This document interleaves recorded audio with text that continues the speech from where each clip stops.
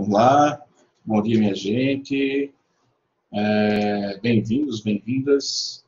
Ah, eu agradeço mais uma vez a presença de vocês, quem estava antes e quem está agora. Né? E é, eu vou fazer a, a, a apresentação formal. Agora a gente está na oficina, oficina 01. É, quem vai ministrar a oficina é a colega de vocês, Alberlene Salles. Uh, o título da, da, da, oficina é Arquitetura e Patrimônio Sagrado. Uh, eu vou conceder a palavra a Alberlene agora, a partir de agora. Eu vou ficar de olho no bate-papo, aí vocês vão se comunicando comigo uh, ou com ela através do bate-papo, né? E a gente vai mediando aí a, a oficina. Tranquilo? Todo mundo ok? Alberlene, se você quiser, pode fazer as honras da, da apresentação aí. Ok? Lembrando que eu vou soltar da palestra o link para vocês fazerem a, a inscrição, né? Mais para frente, não vou soltar agora, nem solto no final, solto mais ou menos agora.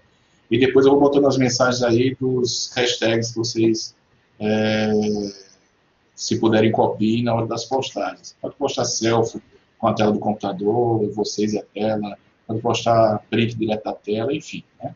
Eu vou, vou, vou saltando aqui do lado. Desculpa aí, Abelina, a interrupção. Vamos lá. Oi, gente, bom dia.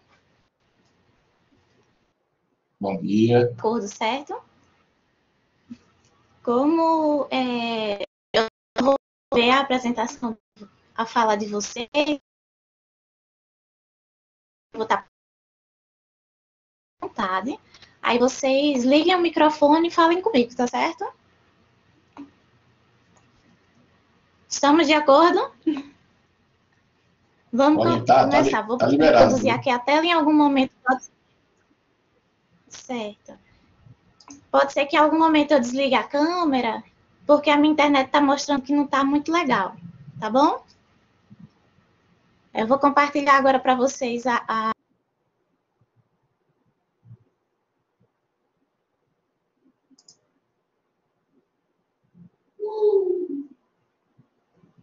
Eu, eu, eu acho que é o vídeo e o, a imagem e o áudio tudo ao mesmo tempo. Ela já está reconectando. Para mim o sinal dela está bem... Ô, Berlim, se você não ligar a câmera, talvez seja melhor. Beleza. Sim.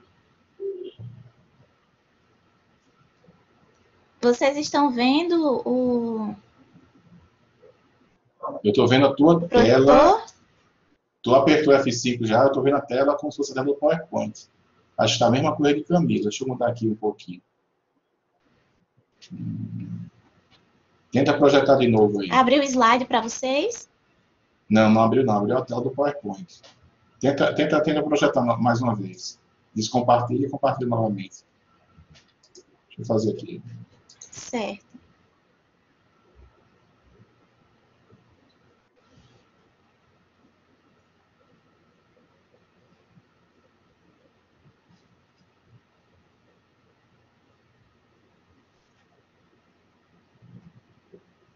É a mesma coisa que Camila Salles.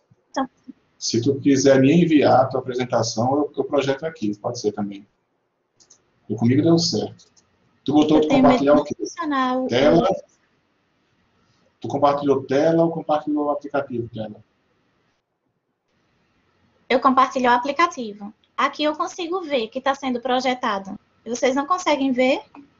Não, a gente vê a, a tua tela do PowerPoint antes da apresentação. A não ser que tu tenha, tenha não, tela não Tá... Não tá, não.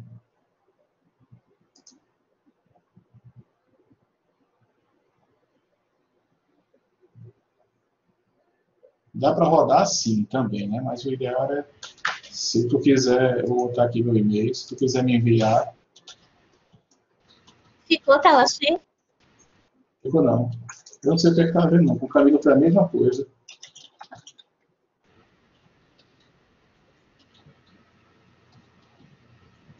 Nem se eu for voltar?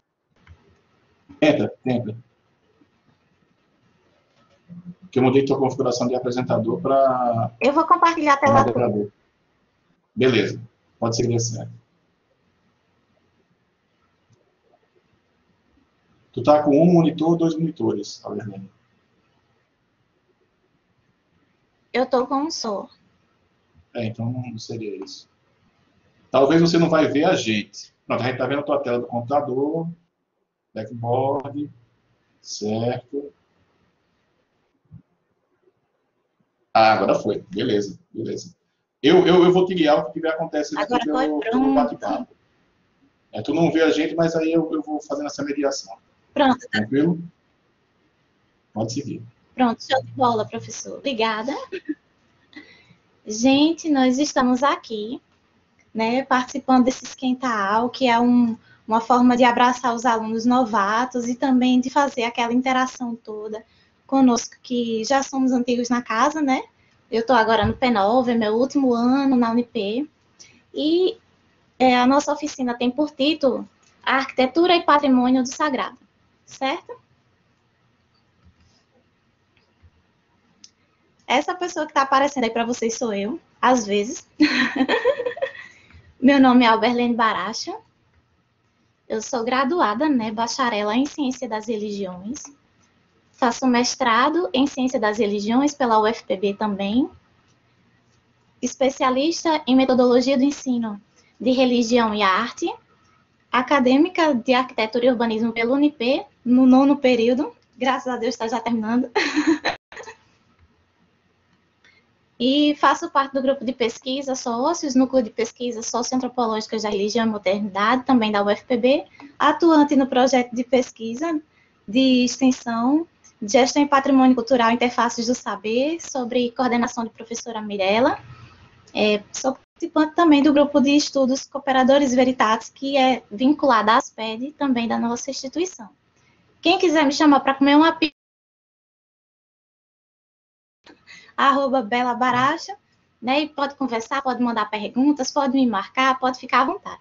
E quem quiser mandar também perguntas, pode ficar à vontade para mandar para qualquer um dos meus e-mails, que é alberlenebaracho, arroba iCloud, Hotmail, Gmail, o que você colocar ali é o mesmo arroba, certo? E se você quiser saber mais sobre esse conteúdo que a gente está debatendo aqui, é só seguir lá o patrimônio, arroba patrimônio no Instagram ou arroba Arcnos, para que você venha conhecer um pouquinho mais sobre esse mundo do espaço sagrado e da arquitetura.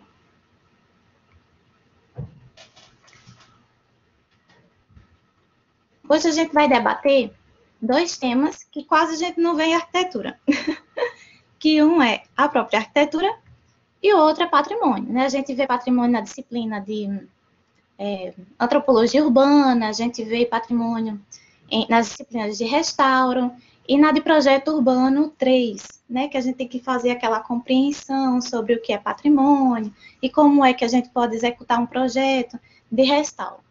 E nessa oficina, nós estamos vendo sobre a interligação entre arquitetura, patrimônio e o sagrado nosso objetivo nessa oficina é como a arquitetura ligada ao sagrado se tornou patrimônio. Eu acredito que vocês vieram com várias perguntas para essa oficina, né, sobre por que falar sobre arquitetura sagrada, qual a importância de compreendermos esta relação, qual a relação entre os temas, qual a influência da religião na sociedade. Eu espero que algumas dessas perguntas que eu apontei aqui, como outras que deve ter na cabeça de vocês, eu possa responder nessa oficina. A qualquer momento, como eu falei anteriormente, vocês podem interromper, liga o microfone, pode falar e ficar à vontade, tá certo? Para a gente entender bem direitinho essa oficina, vamos conceituar cada uma dessas palavras que nós vamos trabalhar, certo?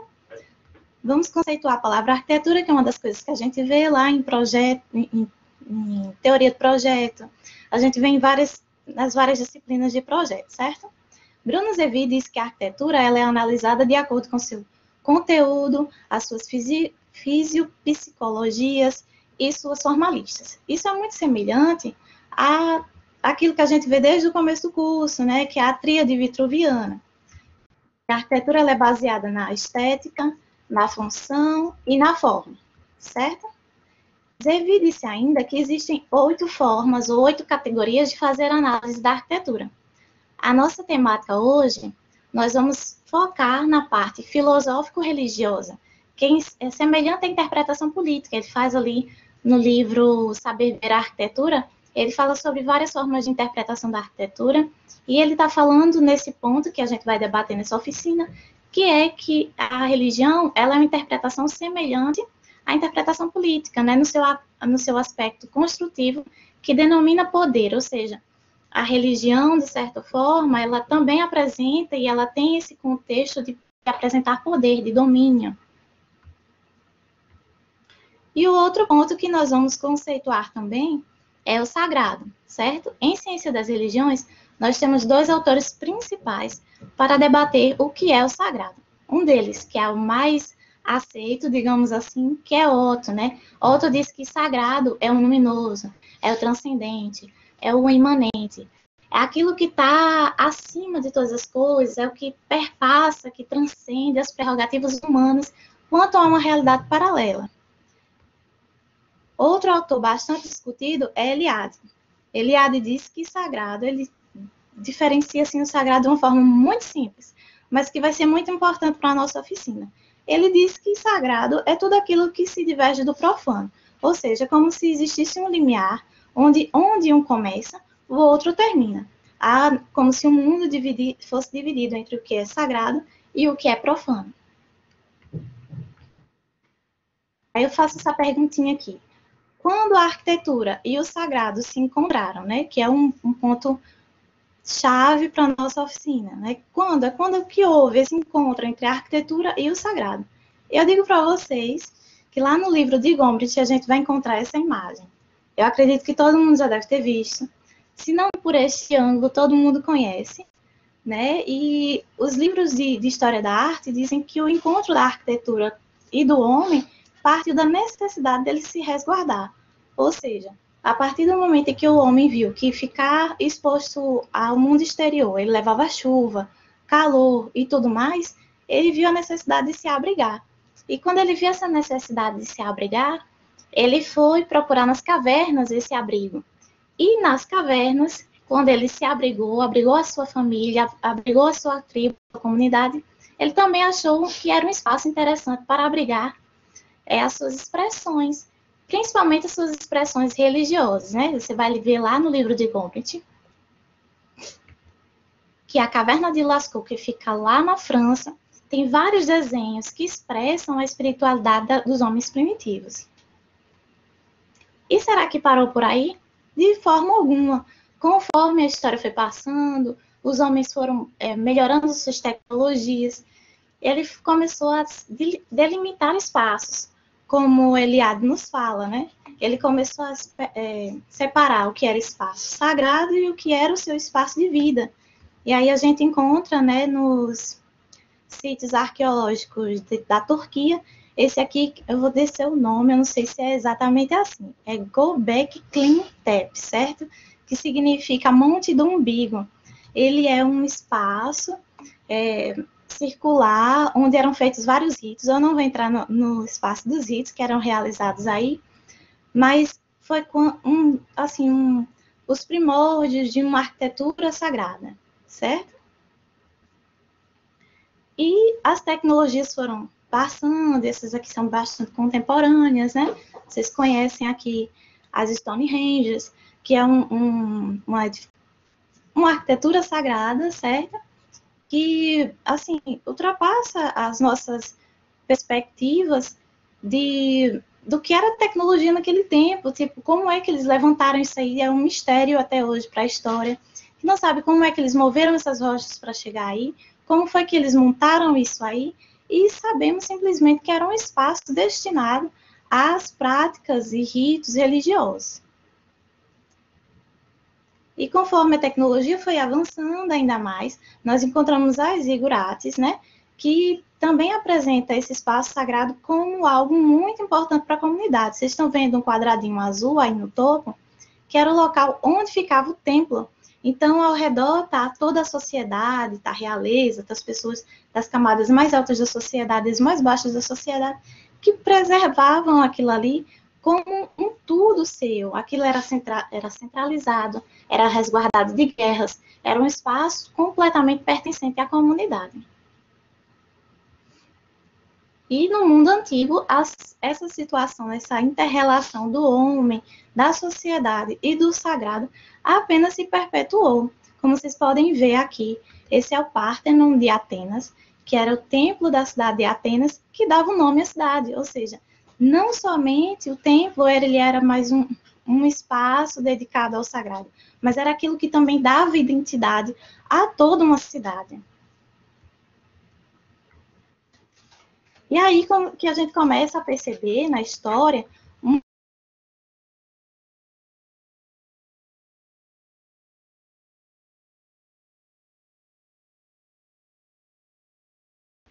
cava correspondendo às manifestações artísticas, marcando época. É como se a arquitetura sacra correspondesse a um marcador do tempo, e através dela pudéssemos compreender e analisar períodos. A arquitetura passou a ser uma marca histórica, como um ponteiro de um relógio que subdividia o tempo e o espaço mediante suas expressões tecnológicas. E aí eu vou apresentar para vocês algumas imagens. Gente, fiquem assim encantados com as imagens, porque eu particularmente gosto demais desse perpassado tempo da história, das imagens arquitetônicas, certo? Esse daqui não é arquitetura gótica, certo? Aqui, essa palavrinha entrou aqui no meio. Aqui é uma arquitetura românica, né? Vem do, do período medieval e traz toda aquela identidade é, românica. E foi uma das, das principais edificações cristãs. Posteriormente veio a arquitetura gótica, que para mim é a minha favorita, a mais bonita de todas, né? Porque ela tem aquela elevação, aquela coisa de dizer que, que o transcendente e o imanente é está acima de tudo, e essa altivez da arquitetura gótica, para mim, é, é muito linda, muito simbólica. Posteriormente veio a, arquitetura renascentista, por mais que ela tenha essa interpretação de trazer um, um, um novo sentido para a sociedade da época, né, que não estava tão é, ligada ao aspecto sagrado, mas ela também se fez presente, como a gente pode ver aqui nessa igreja, que é a igreja de Santa Maria, né? É uma arquitetura também muito linda e foi nesse período também, né, que aconteceu a reforma e tudo mais, e aí veio a contrarreforma com a arquitetura barroca, com o rococó, e aí veio a igreja protestante e disse: "Nós vamos criar um novo estilo associado ao capitalismo", né? E, e veio a arquitetura neoclássica, que era a arquitetura, digamos, da do capitalismo em si, depois se tornou a arquitetura da, dos protestantes, e depois, tanto a Igreja Católica como a Igreja Protestante, elas abraçaram a arquitetura eclética. Essa aqui é a Igreja de São Pierre, em Genebra. Vocês podem ver que tem várias configurações aí arquitetônicas. Certo, a gente já entendeu, né, que o, o ser humano, desde os primórdios de sua história, teve uma ligação constante com o sagrado. Mas quando é que essa interação se tornou patrimônio?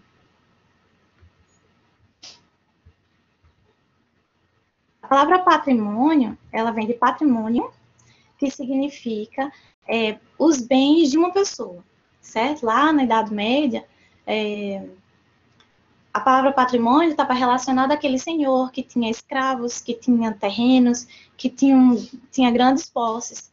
E essa palavra, ela se estendeu a significar é, pertencimento certo? E Braga nos diz né, que a patrimônio significa um elemento de pertencimento dos indivíduos à sua coletividade.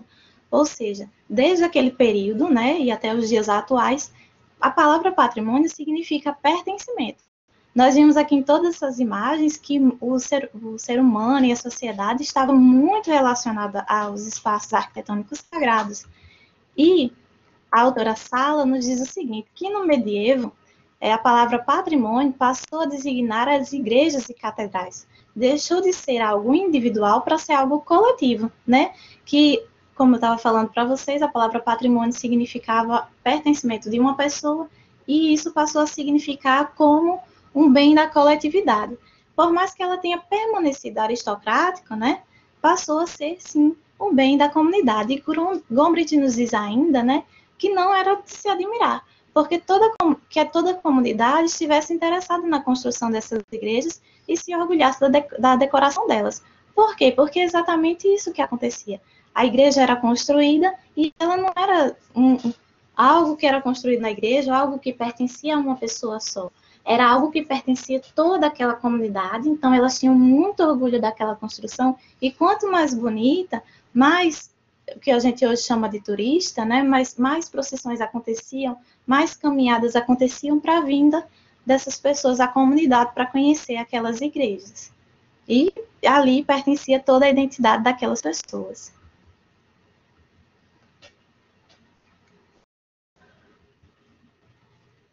Anos depois, né? Em, mais precisamente em 1931, foi formulada ali a Carta de Atenas numa reunião internacional que visava os princípios de conservação e restauro dos bens materiais, que traduziam o espírito do pacto das sociedades, da vida das antigas tradições. Então, em 1931, foi feita uma reunião, e nessa reunião que foi feita a Carta de Atenas, eles tiveram essa ideia: não, vamos unir, vamos fazer um pacto entre as nações para que haja uma preservação dessa identidade, né? Como a gente viu, que fazia parte desde a Idade Média essa questão da identidade do povo. O povo erguia suas igrejas com a intenção de que aquilo era coletivo, e essa ideia ela se propagou desde a Idade Média, chegou até 1931, e foi ali que foi feito esse pacto. Não, a partir de hoje a gente vai pegar todas as nações, né, vamos tentar é, guardar e resguardar essas no essa nossa história, né, a nossa arquitetura, como forma de história viva, né, história que perpassa durante muitos e muitos anos. Como vocês viram, Parthenon, até hoje tem alguns templos na Grécia que ainda estão de pé. Né? tem muitos e muitos e muitos anos. Aqui no Brasil, já no governo de Getúlio Vargas, assim, no dia, 30, dia 13 de janeiro né, de 1937, foi criado o Instituto Patrimônio Histórico e Artístico Nacional, que define o patrimônio cultural como forma de expressão, modo de, de criar, de fazer, de viver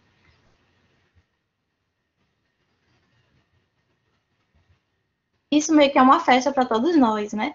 Que se você for estudar um pouquinho mais sobre a história do Brasil, você vai ver que nossa busca pela nossa identidade se deu em meados do século XIX. A gente procurava ali, em meio de tantas culturas, em meio de tantas pessoas, e, e o nosso país foi é, colonizado por tantas nações diferentes, né? E os escravos foram trazidos, os escravizados foram trazidos aqui à força, e tinha os índios e tudo mais, eram tantas culturas diferentes que a gente estava tentando procurar a nosso, nossa identidade nacional desde o século XIX. Quando chegou em 1937, né, com essa criação do, do IFAM, é como se pudéssemos resguardar cada uma dessas identidades que formulam a nação brasileira.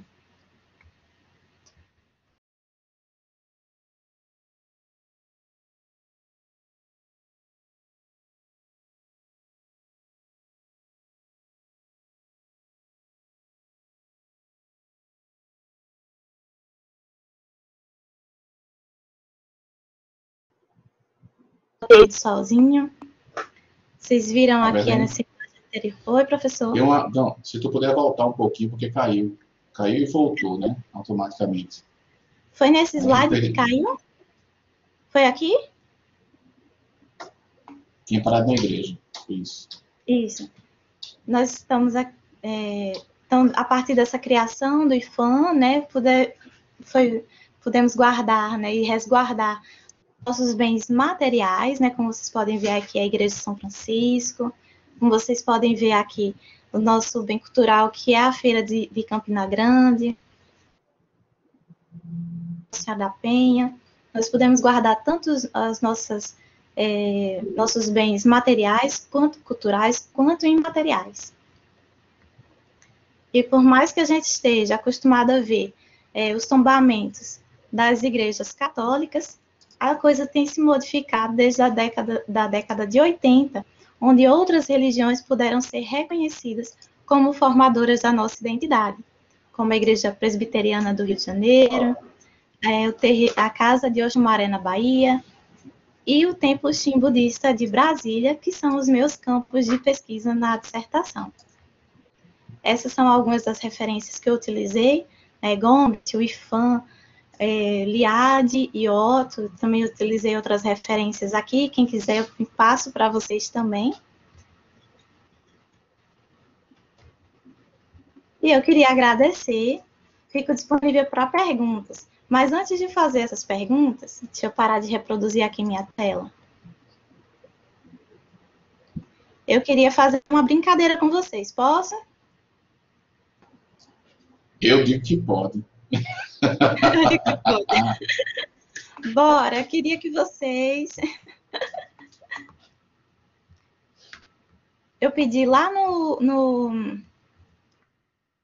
no, como é o nome, na inscrição, que vocês sem um papel e, um, e lápis, lápis de cor, lápis da forma que vocês quisessem. Eu vou dizer aqui a, a brincadeira e depois vocês podem ir buscar, certo? Que, vocês todos fechassem os olhos e ficassem aqui atentos à minha voz, certo? E escutem que eu vou falar bem tranquilamente.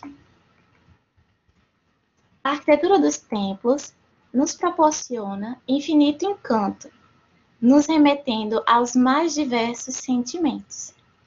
Ao entrar no templo, podemos nos sentir acolhidos, podemos sentir conforto, podemos sentir medo, solitude, paz, alegria, grandeza, calor. Podemos sentir vários sentimentos que nos faz transcender como seres espirituais e nos faz transcender também através das lembranças, lembranças diversas dos momentos vividos ali, seja um casamento da tia, ou um batizado, ou os primeiros passos na religião, nos faz lembrar dos nossos amigos, da comunhão, da comunidade, da família. Agora eu peço que vocês abram os olhos e expressem no papel, através de desenhos ou palavras, os sentimentos que vieram dessa experiência para rememorar o tempo. Eu vou dar cinco minutos para vocês fazerem, certo, pessoal? E quem quiser compartilhar comigo depois, pode ficar à vontade. Eu vou dar aqui, já quase 11 horas, né, professor? Eu vou diminuir o tempo, vou deixar três minutinhos, aí depois vocês falam comigo, tá certo? Não, mas tá tranquilo, se quiser passar só um pouquinho, não tem, não tem problema não. Não é ficar de dois minutos que a gente vai se apertar, não, fique tranquilo. Vou esperar três minutinhos. Vocês podem ficar à vontade para escrever alguma coisa que vocês quiserem escrever. Se vocês lembrarem, lembrarem de algum momento e quiser compartilhar, pode ficar à vontade para compartilhar com a gente também. Se vocês quiserem fazer algum desenho, compartilhar aqui, compartilhar a tela para a gente ver. Pode ficar à vontade, tá certo? O professor quiser também, professor, pode ficar à vontade também, professor. ok.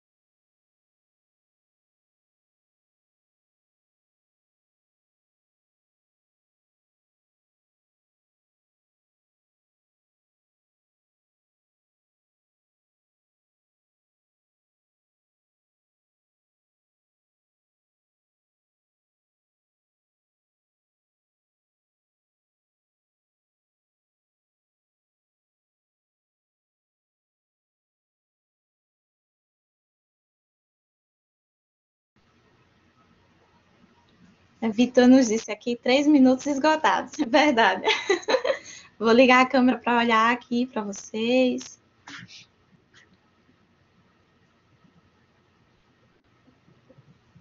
Eu estava olhando aqui as mensagens que vocês falaram anteriormente. Alguém tem alguma coisa para compartilhar com a gente? Eu sei que, de certo modo, a espiritualidade é algo muito, muito íntimo, né? A gente poder compartilhar, assim, fica um pouco difícil.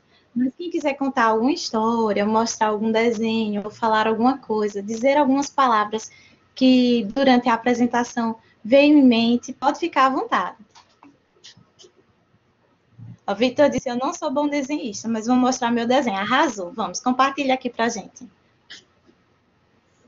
Deixa eu ver aqui se está. Tá. Agora não sei como é que vai publicar, não sei como é que vai compartilhar isso daí, porque acho que a gente vai ter problema em compartilhar esse desenho. Acho que mostrando assim com a câmera, Vitor, dá. É, se você for assim. Né? É. Porque no, no, no, pelo, pelo Blackboard não daria. A não ser que eu, eu mudasse a configuração aqui. Mas tenta pela câmera, Vitor. É bom que você dá um oi, tudo bom. Né? Eu consigo pelo menos um abrir a câmera. Eu lembrei mais disso aqui, ó. Uma luz, quando você estava falando a questão do. E o girassol, que lembra muito essa questão de vitalidade, né? De energia. Sim, né? Porque o girassol ele tá ali, ele tá sempre em busca da luz, né? E é isso, nosso ser espiritual, nós como seres espirituais, estamos ali procurando a luz, procurando a espiritualidade, procurando o bem, né? O bem para nossa alma e o bem para nossa comunidade. Menina, arrasou, gostei demais da sua abstração. Menino, que chique. Obrigada, Vitor, por sua participação. Nada. Alguém tem mais alguma coisa para mostrar, para falar? Eu vou falar, eu vou falar. Eu sou, sou pitaqueiro, não tem jeito. A, a, a, minha ideia de. de... Para mim, a religiosidade é, é, uma coisa bem, bem específica de cada um. Agora, eu, eu gosto muito da, da última imagem, a imagem que tu encerrou lá, que é aquela, chama o toque de Deus, né? A imagem do homem e do divino, quase se tocando, tocando os dedos. E o, o engraçado é que. É, Sim, a última. É, se você prestar atenção nessa imagem, você vai ver que, Essa, né? de um lado, você tem, é, você tem uma imagem de Deus, e ele está cercado de anjos, e ele está fazendo um esforço pela, pela, pela forma uh, da musculatura, a, a posição que está você vê que Deus ele ele está se esforçando para alcançar o homem. E você vê do outro lado Adão, o primeiro homem a ser criado, você vê que ele está de uma forma bem displicente, bem tranquilo, bem acomodado, né? É, e é, de poça. Né? Então, o engraçado é o seguinte, ah, e aí eu acho que essa imagem é muito representativa nesse sentido, que a, a busca, ela tem partir mais de nós, e aí não, não, não importa né, o, o que é que você enxerga ou como você enxerga o lado direito da imagem, a, a, o divino para você como é. Mas o lado esquerdo e essa ligação do divino com o, o, o terreno, com o, o, mundano, vamos dizer assim, é, é bem assim. A, a, todas aquelas que, que, que falam da busca do autoconhecimento, do auto, de você se conhecer, de você se trabalhar, de você se melhorar, uh, se renovar, etc. Enfim, né? É uma busca mais interna do que externa, né? E aí a gente trazendo para a arquitetura, que eu não tenho como deixar de falar isso, né? Eu acho cativante a arquitetura Sim. religiosa. Por quê? Né? Na arquitetura religiosa é muito mais claro, e aí eu vou fazer até um parênteses com a criatividade, né? É muito mais claro você vê a questão do tratamento das simbologias. Você consegue ver simbologia muito claramente na arquitetura religiosa, que talvez você não veja nas outras arquiteturas com toda frequência, né? Ah, talvez Niemeyer tenha tentado alguma coisa nesse sentido, enfim. Mas na arquitetura você vê, você vê simbologia na forma, você vê simbologia no adorno, você vê simbologia na planta, você vê simbologia em praticamente tudo, pelo menos a arquitetura ah, basicamente, a religiosa ela tinha, tinha, que ter essa, tinha que fazer um remetimento ah, que não era com palavras, era com a arquitetura em si, com a imagem do divino. E o divino, hoje a gente voa de avião, vai para o espaço, vai para manda a sonda para Marte, mas naquela época o, o céu, né, era uma coisa inatingível. Então, o divino é sempre uma coisa inatingível. É aquela, aquela busca mais dura que existe, que é aquela de você, que é uma definição que eu, que eu, que eu sempre ouvi e achei muito interessante sobre fé, que é você acreditar para ver e não ver para acreditar. Né? Então, você tem que acreditar para que a coisa, de fato, ela, ela faça sentido ou pareça de alguma forma concreta para você. E nesse sentido, você tem que abstrair. Então, para a arquitetura, eu acho magnífico a tentar entender as simbologias e tentar resgatar essas simbologias. Talvez seja o que muito mais. Se você pegar um. É, vamos misturar um pouco, né? Se você pegar um Big da vida, um Bjark Engels, ele tem simbologia indo e voltando na, na, na, nos projetos dele. Talvez ele tenha um lúdico muito aflorado, ou talvez ele tenha enxergado isso dessa maneira. A gente não tem tanto isso daí hoje em dia.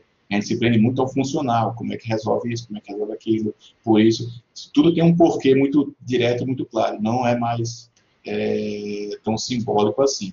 Eu acho, eu particularmente, eu adoro a arquitetura religiosa, porque ela me faz ver é, o, o, o projetar de outra maneira, outras possibilidades. Não que eu vou fazer uma edificação toda com de, de um templo ou igreja. Não é isso.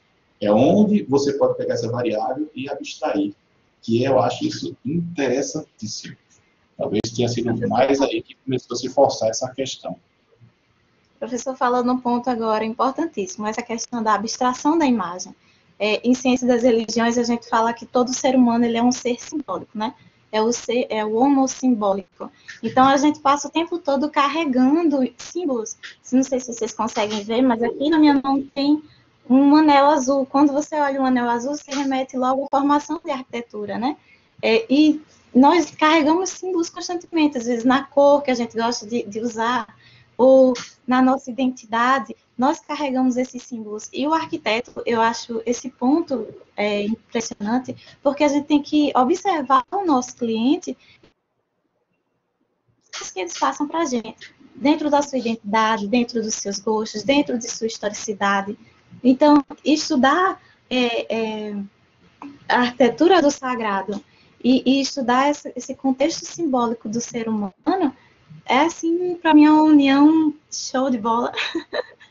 e como o professor citou, por mais que hoje a gente não possa pensar que vá construir um, um grande templo como um que eu gosto mais, que é o Templo da Sagrada Família, né, lá em Barcelona, a gente também tem outros espaços para construir, sejam eles sagrados, né, como uma das coisas que a gente estuda lá no grupo de estudos, né, que existem pessoas que fazem santuários internos em casa, então você pode se deparar com um cliente que peça um espaço onde ele possa exercer a sua sacralidade, a sua espiritualidade, como também você tem que ter essa compreensão do simbólico. E isso é importante demais. Gostei demais, professor, ter é, falado isso, porque a gente, eu podia associar e também né, a, a, oficina de professora Camila, que foi anteriormente, que também falou sobre os sentimentos, sobre as sensações, e isso é importante demais para a arquitetura.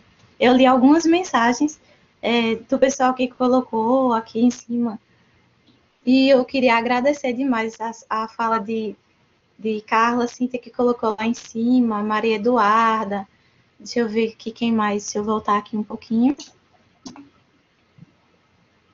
É, cadê? Calênio. Eu queria que Calênio falasse alguma coisa, porque Calênio ficou calado. Calênio tá aqui. Chamada a responsabilidade, viu? Chamada ah, tá sim. Ele tá assim. Ele tá de nome presente. A gente não tem mais nem de corpo presente, né? Porque no, no, virtual a gente não sabe nem dizer essas coisas, mas é, é ele tá de, de, nome presente. Ele já respondeu, então ele tá de corpo presente também. É. A Carla Cheiro. Mulher dizendo que é chique, tu quer chique, eu vejo lá tua, tua exposição tão chique lá no, no Instagram dançando, essa mulher se arrasa. Se eu fizesse um passinho do que ela faz, a minha casa. Dai, Antônio, que saudade grande. Um cheiro. Deixa eu ver aqui quem falou mais. Maria Eduardo o auge. Obrigada, gente. Eu sofri muito para conseguir. Ó, Vitor disse aceito rodízio de pizza. Com certeza, aceito geral. A Carla falou aqui, lembrei do P1, sim, nas disciplinas de estética. Show de bola. Sandra falou verdade, que lembrou também, né?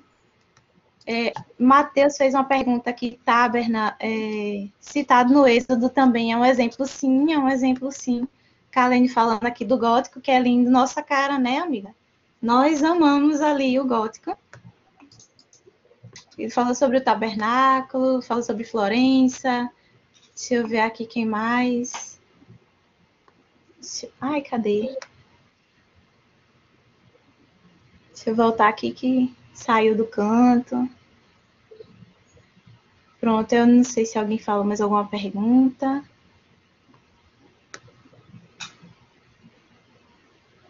Pergunta, pergunta, eu acho que não teve. Deixa eu ver. Tem um texto aqui que foi uma das últimas que mandou mensagem. Deixa eu ler aqui.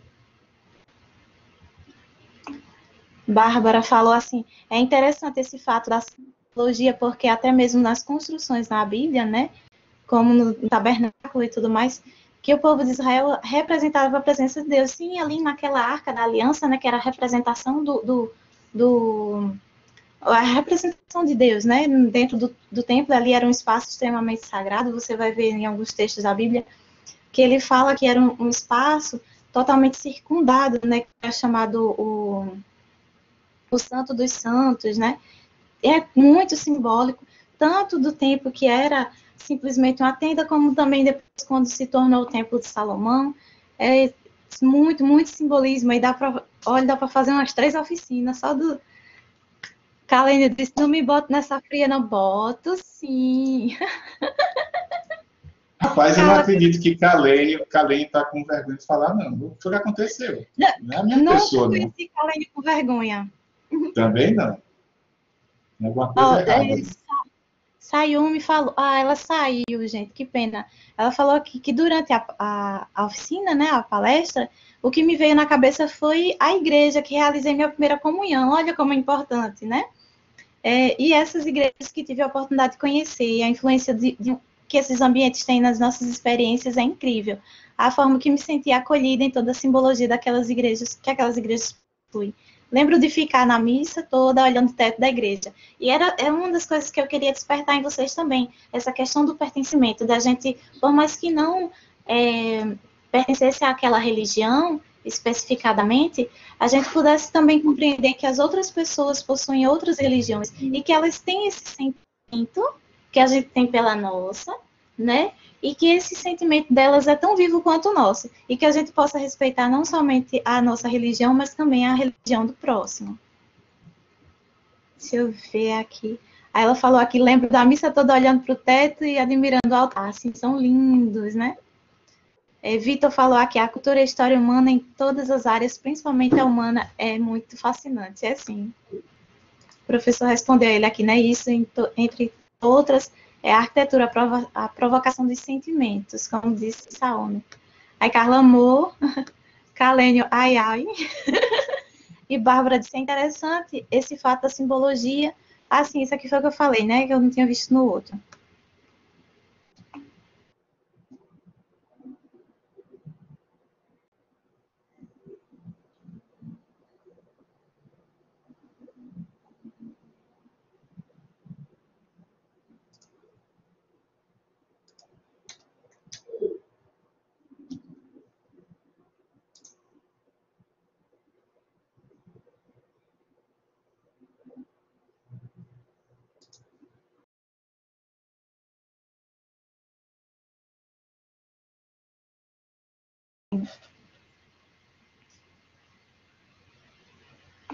Vitor falou desde os egípcios, dos maias, a questão do simbolismo.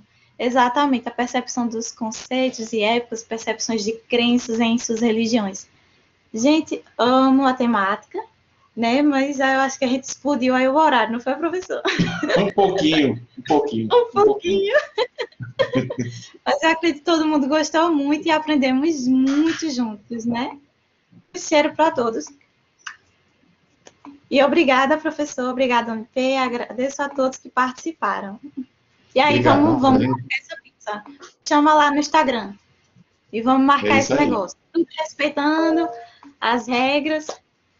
É, Daiane, Daiane quer falar. Olha, pode falar. Oi, bom dia a todos. Quero bom primeiramente dia. parabenizar a Bela, tá? Ela Obrigada. sabe o sentimento que eu tenho por ela e admiração. Ela foi muito bem colocada. Sucesso para tu, viu? Tá? Desejo tudo de bom. Eu amei, Obrigada. amei, amei ter assistido a palestra. Eu espero te encontrar de novo, né? Que faz muito tempo que eu te vi. Oxe, show de bola. Ah, ah não só ela, todo mas mundo, mundo, né? Sim, vamos embora. Vamos marcar todo mundo no encontraço do P1. Isso. Professor, você ah, a Maria Eduarda disse, sou apaixonada pelo tema. Eu também, né? Não, mas assim, tá muito na cara, né? ah, obrigada, jo Joaquim Neumann, né? Obrigada. A oficina foi ótima, incrível, ele disse. Obrigada. Ah, Eveline, muito bom, muito obrigada também. E obrigada, Daiane, pela palavra, mulher. Saudade demais da nossa turma. Tá Adorei, bastante inspiradora, assim. É... Tá de parabéns. Alguém levantou a mão. Sim, pode falar. Tá de parabéns. Realmente essa oficina assim abriu muito a, a mente da gente. E se Deus quiser, quando tudo normalizar, a gente, eu também pretendo conhecer a sua pessoa e compartilhar um pouco desse conhecimento, porque é sempre interessante, né? Tudo que é Sim. conhecimento é bom você expandir, né? Crescer mais. Exatamente. Todo. Travo. dele e aprender é sempre muito gratificante. Com certeza. E principalmente que essa área, como diz, de religiosidade é, é muito interessante, que ela é muito abrangente, ela vai muito além do, do que a gente vê atualmente, né? Sim. A gente vive no, no, meio de um conflito muito grande, principalmente no âmbito religioso. E quando você estuda as religiões, você entende que cada uma contribui muito, principalmente para essas identidades, né? É, assim, é, é muito gratificante, a gente aprende a respeitar, a gente aprende a, a nova tecnologia, né? Eu tenho estudado alguns é, aspectos arquitetônicos de, de referente às outras religiões, e assim, cada uma trouxe uma contribuição que a gente faz uso. Né? A arquitetura que nós temos aqui não é a mesma que tem lá na Europa. Então, essas contribuições são importantes demais. Alguém pediu o link novamente. Aí caiu, voltou. Alguém tem mais alguma coisa para falar? Kalene me deixou assim, não quis falar, não quis me deixar falando sozinho. Bom dia, Perlene. Eu tô aqui, eu tava tentando Agora acredita. Ah. Porque faz tanto tempo já que já teve sua voz. Saudade de ouvir sua voz ainda. Ia mesmo? Mas que conversa é essa, rapaz? Marquia. Ah, Wesley, eu só, eu só queria desejar que você pediu falar, né? Todo mundo pediu falar, vou falar.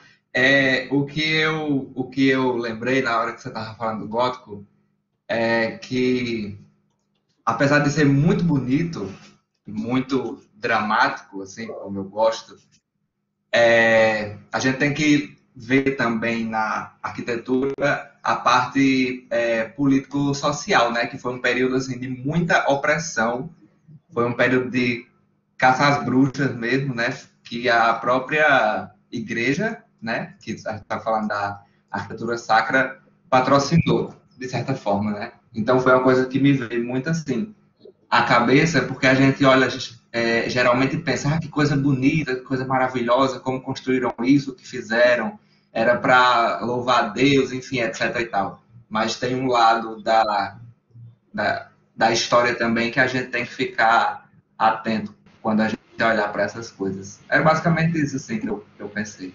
Pronto, tá falado? Tá falado. sim, por mais que a gente goste muito, né? Infelizmente tem aqueles pontos bem negativos, né? Da, da religião, que infelizmente acontecem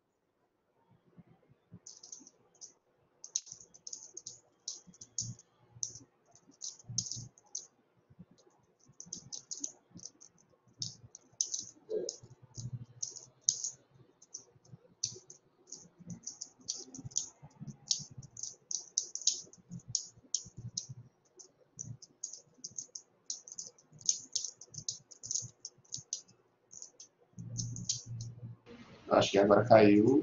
Foi, caiu, voltou? Voltou. Voltou, voltou. É, foi basicamente isso que eu disse, né? Que realmente é, foram frustrações que a gente acaba lidando nas, nessas nossos estudos, mas que a gente tem que ver também que houveram pontos positivos e pontos negativos, como tudo na vida e como em todas as religiões. Alguém tem mais alguma pergunta, alguma coisa para falar? Calene um cheiro, porque eu sei que é uma temática que a gente gosta muito.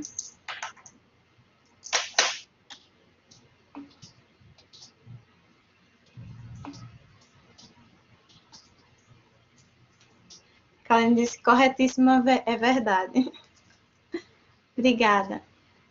Passa a fala para o professor para a gente encerrar.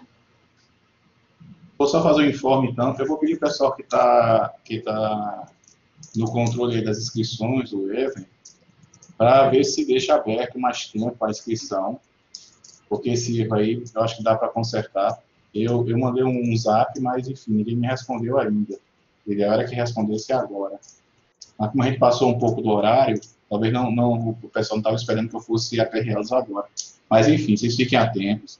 Vou pedir que, que, que se abra para, apesar da oficina já ter ocorrido, é, só, é, seria um, uma, uma solução, mas é a solução que não depende de, uh, não seria a solução mais correta, né?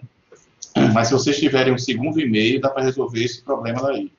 Se não tiver segundo e-mail, eu vou pedir para ficar um períodozinho à tarde, depois do almoço, sei lá, de umas três, uh, aberto para quem está aqui fazer essa inscrição mesmo, não tendo ocorrido, mas para oficializar isso daí, né? Tranquilo? Ok? Então, é, eu só tenho a agradecer, agradecer ao Verlene, agradecer a, a todos que participaram, o Vitor, a Daiane, é, enfim, todos que entraram aqui no chat, quem não se pronunciou também, ouviu, Maria Eduarda, Matheus, enfim, todo mundo, todo mundo, Rosana, estou muito satisfeito, muito tranquilo. Eu desejo a vocês ainda que acompanhem o resto do esquenta, né? Nós vamos ter ainda hoje à noite, vamos ter, acho que palestra com o professor Rui, e vamos ter também mais uma oficina, né? Então, vocês fiquem atentos, acho que a partir das 19 horas que começa, se não me engano. Né? Ok? Abraço, gente, brigadão. Tchau. Tchauzinho, Tchau. até mais. Obrigada, tchau.